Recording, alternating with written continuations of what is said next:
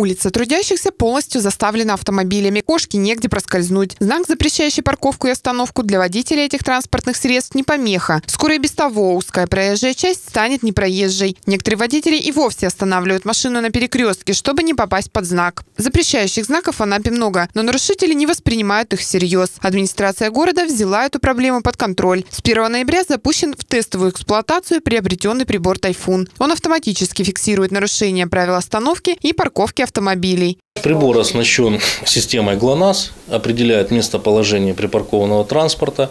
Транспортное средство проезжает, фиксирует транспортные средства, находящиеся именно на этом участке, сопоставляет данные со спутниковой системой ГЛОНАСС, обрабатывает их и распознаются номера и, соответственно, дальше уже процесс идет. Разработаны несколько схем маршрута. Один день эвакуатор работает на этих улицах, один день работает эта машина.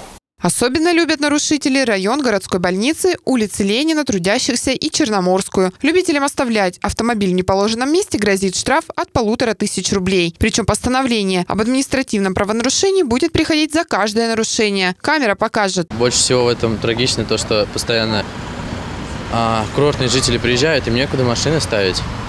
И эвакуаторы приезжают, их ну, одну за одной забирают. Просто надо ну, двух-трехэтажные парковки ставить вместо зданий. Количество автомобилей на дорогах Анапы растет. Вопросом строительства парковок и стоянок давно задачились местные власти. Эти вопросы совместно с управлением архитектуры разрабатываются, включаются в планы работ дальнейшего развития города. И как бы работа идет в этом направлении. Ежедневно новый прибор фиксирует около 70 правонарушений. В перспективе в городе планируют запустить еще несколько подобных систем наблюдения и фиксации нарушений.